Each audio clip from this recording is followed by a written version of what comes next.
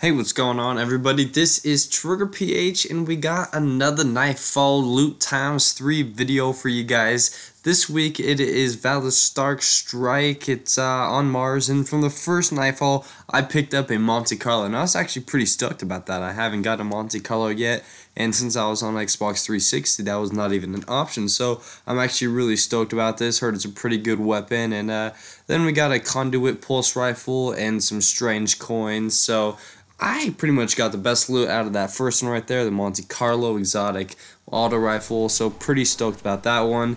And for the second loot, uh, I died, but my team was in a pretty decent uh, little cheese spot, so they didn't want to pick me up. And well, I don't blame them. That would have just risked everything, and we didn't want to want to lose. So for the second nightfall, um, a friend who got the strange coins last time, Das Crook, he picked up a No Land Beyond, which uh, I've actually come quite fond with that weapon. It's kind of fun to use. I picked up the time on target pulse rifle, which I probably won't ever use. I don't like pulse rifles.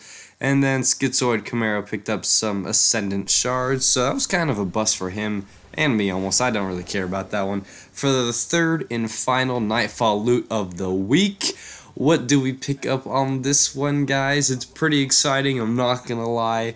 Not gonna lie, I wouldn't lie to you guys, because, um, well, it doesn't pop up right here, but I get me 11 strange coins. That's just the best thing ever, right, guys? Anyways, I did get the Monte Carlo.